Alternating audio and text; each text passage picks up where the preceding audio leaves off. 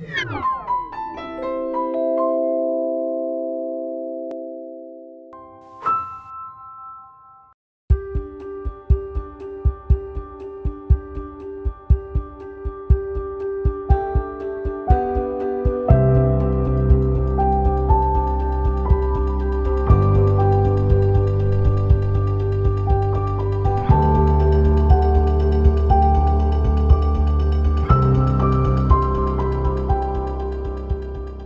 The hub is actually a direct replication of what's called the Certified Pathways Hub model. That model is a nationally certified, evidence-based, uh, peer-reviewed, pay-for-performance model.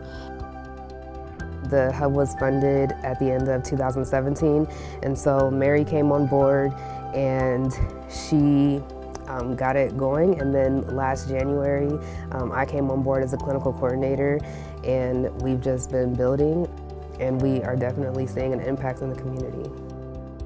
I want to be able to service the people like me from my community because there was times that I needed the same type of help and it was nowhere to be found. So I want to be that person for them. We can go to the client or the client can come to us or if they don't feel like that, if they want to meet at the McDonald's, we'll meet at McDonald's or the library or in the car.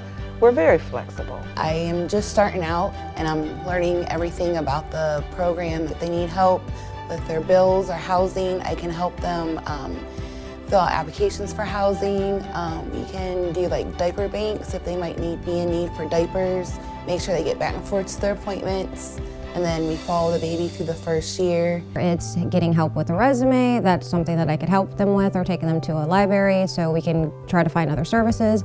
I know through Job and Family Services they also have like computer skills, so if like a mom is struggling with something like that, that's something that I could link her with. Our individuals are pregnant women and minority pregnant women because they have not historically been getting the services or taking advantage of the services available.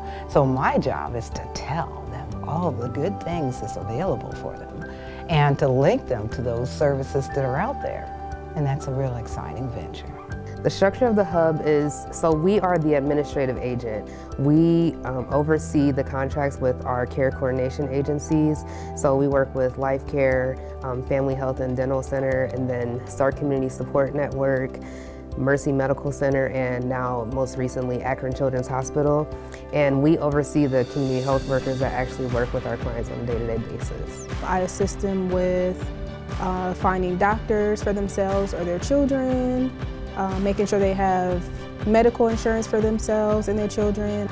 Oh my goodness gracious, we got future voters, future citizens. The whole city is built on the fact that we take care of these future people before they get here. So we all know that a health of an individual is not just going to a doctor's appointment, but it's also about where they're living. Do they have access to food? Uh, can they get to their appointments? Uh, mental health. The Stark County community has a wide variety of providers and services that are available, but unfortunately a lot of our citizens don't know how to navigate those systems. And so really having those individuals who are able to walk those journeys with our clients and being able to help them navigate through these systems is what this is all about.